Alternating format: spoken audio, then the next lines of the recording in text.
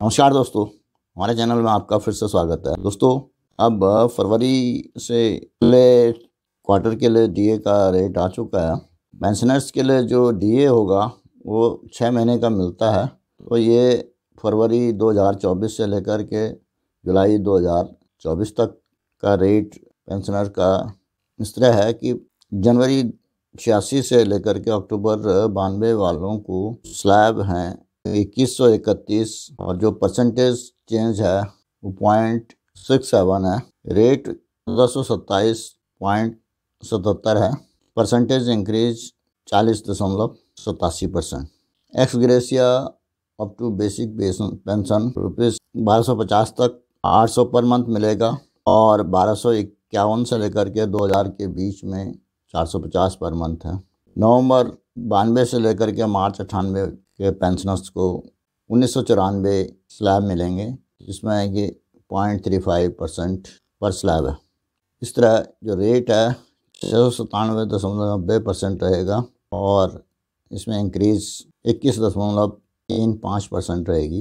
Ex gratia up to basic pension चौबीस सौ में मिलेगा आठ सौ रुपये और चौबीस सौ एक से लेकर के अड़तीस सौ पचास तक साढ़े चार सौ रुपये। जो पेंशनर अप्रैल अट्ठानवे से लेकर के अक्टूबर दो तक रिटायर हुए हैं। उनका स्लैब हैं अठारह सौ साठ और जो परसेंटेज पर स्लैब है वो पॉइंट टू फोर है और इस तरह उनका चार सौ छियालीस दशमलव चार परसेंट बनता है, जो कि चौदह दशमलव चौंसठ परसेंट इंक्रीज होगा। Ex gratia up to basic pension पैंतीस सौ पचास आठ सौ रुपये है और पैंतीस सौ इक्यावन से लेकर के छप्पन सौ पचास तक जिनकी पेंशन है, उनको साढ़े चार सौ रुपये पर मंथ मिलेगा। नवंबर 2002 से अक्टूबर 2007 तक जो डी एस स्लैब हैं, सत्रह सौ नौ हैं परसेंटेज उसका पॉइंट वन एट बनता है, और जो परसेंटेज चेंज होगा, वो three zero seven point six two percent होगा, और इंक्रीज दस दशमलव नौ आठ होगा। नवंबर 2007 से लेकर के अक्टूबर 2012 के पेंशनर्स को पंद्रह सौ बहत्तर स्लैब मिलेंगे, जो जिसका परसेंटेज पॉइंट वन फाइव है, और जो चेंज परसेंटेज है वो दो सौ पैंतीस दशमलव आठ ज़ीरो है। और जो परसेंटेज चेंज होगा, नौ दशमलव एक पाँच रहेगा।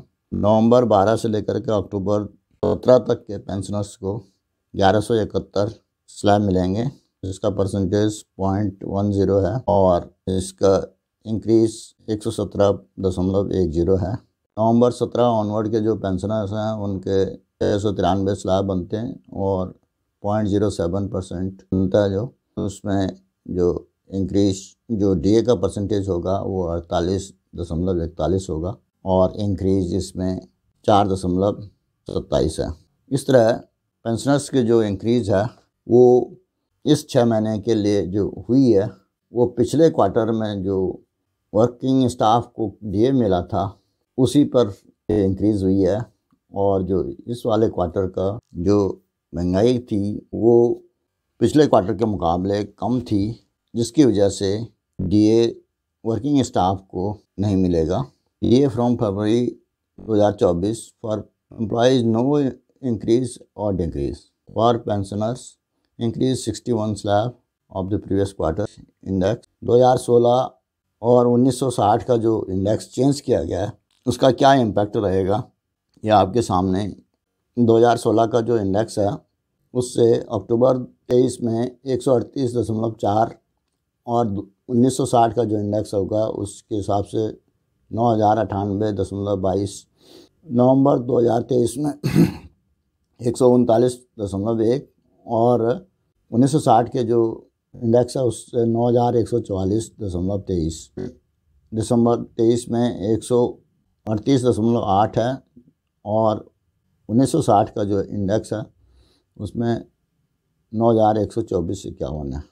एवरेज जो तीन महीने का इंडेक्स बनता है, वो नौ हज़ार एक सौ बाईस दशमलव बत्तीस बनता है, जिसकी वजह से कोई इंक्रीज नहीं है, क्योंकि पिछला डीए जो दिया गया था, उसका लेवल इससे ऊपर था। लेकिन प्रीवियस एवरेज नौ हज़ार एक सौ चौबीस दशमलव बावन थी। इससे जो डिक्रीज जो होगा दो दशमलव दो बीस हुआ, और डीए जब भी वर्किंग स्टाफ को मिलता है, वो चार पॉइंट पे मिलता है तो दो दशमलव दो पॉइंट फाल होने की वजह से कोई डीए नहीं चेंज हुआ। अगर चार से ऊपर होता तो शायद वर्किंग स्टाफ का डीए थोड़ा सा कम हो जाता। लेकिन पेंशनर्स के लिए इकसठ स्लैब का जो पिछले क्वार्टर का डीए था, वो फरवरी से मिलेगा। इस तरह से इस बार केवल पेंशनर्स को ही डीए मिल पाएगा और वर्किंग स्टाफ को नहीं मिल पाएगा। दोस्तों, आज के इस वीडियो में मैं इतना ही कहना चाहता था। आशा है इस वीडियो में दी गई जानकारी आपको पसंद आई होगी और अगर पसंद आई तो इसको लाइक करें और साथ ही अपने दोस्तों में शेयर भी करें। यदि और कोई जानकारी चाहिए तो उसके लिए कमेंट करें। फाइनेंशियल लिटरेसी से संबंधित बैंक से संबंधित और बैंक पेंशन से संबंधित या गवर्नमेंट की स्कीम के बारे में जानने के लिए इस चैनल को सब्सक्राइब करें। वीडियो को अंत तक देखने के लिए धन्यवाद। जय हिंद।